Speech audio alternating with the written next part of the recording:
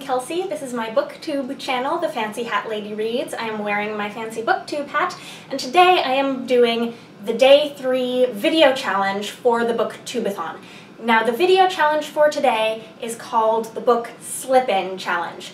The goal of this challenge is to write and film a short monologue or dialogue that includes as many book titles as humanly possible. Wish me luck. So the other day, I wandered through the door in the hedge into the forest to gather some cress for tea sandwiches. But all I could find were bitter greens.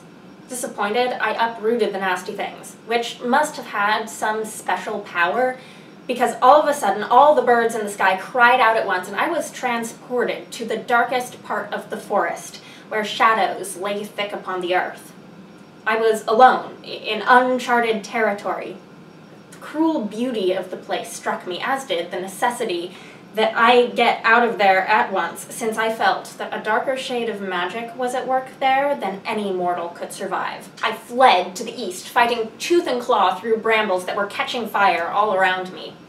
I finally found myself in a clearing I knew, where the radiance of the sunshine nearly blinded me. You'll be glad to know that I made it back to Northanger Abbey in time for my scheduled tea with the Black Dragon and Rebecca, and that I took a solemn oath after that that I, Coriander, would never meddle with magical weeds again. Once again, this has been the day three video challenge for the Booktubeathon Readathon. I hope you enjoyed it as much as I did. I'll link you information for the readathon down in the description. That is all. Bye for now.